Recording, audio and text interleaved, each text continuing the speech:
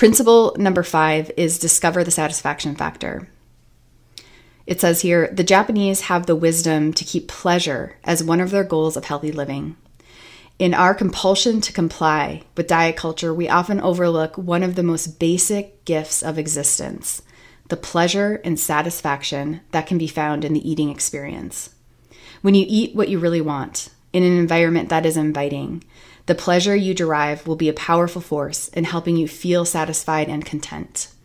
By providing this experience for yourself, you will find that it just takes the right amount of food for you decide for you to decide you've had enough. Mmm. I love that so much.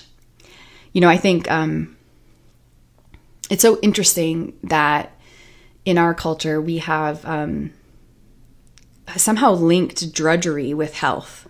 Isn't that interesting?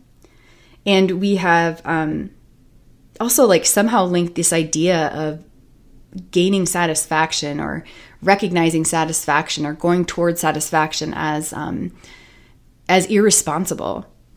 And I think as they're alluding to here, it couldn't be further from the truth because when we are allowing, or as they say here, discovering the satisfaction factor, what happens is we we are able to discern that enoughness, right? And so instead of this constant search or this mindless mindless trying to fill a hole, a quote unquote hole in our life, or or um, in this case, like when it comes to food, just eating and eating and eating, um, we can start to feel that enoughness, and that enoughness it always comes from giving ourselves permission to align with satisfaction versus thinking somehow it's going to come through uh you know drudgery this rules that cause drudgery and just foul complying right?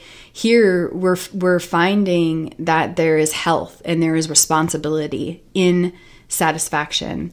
And one thing i love about this too is it um you know I, I guess the one way i want to put it is you can't have satisfaction if you're not mindful right? So there has to you know satisfaction is a byproduct of consciousness of, of building your consciousness of your body of your feelings of how a food tastes. And and there's nothing more powerful than building consciousness than building mindfulness than building self-awareness. That is where you know all of our problems can be solved is when we pull things that are below the level of consciousness to a little bit higher level so we can see them. That that is that is the key right?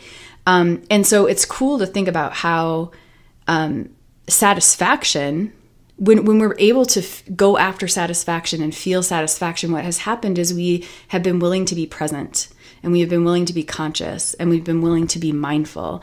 And so i think it's it's good to remind ourselves that those two things are linked satisfaction and mindfulness. And mindfulness is always a beautiful practice in in any arena that it is practiced.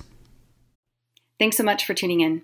If you found this content helpful please consider liking this video and subscribing to my channel.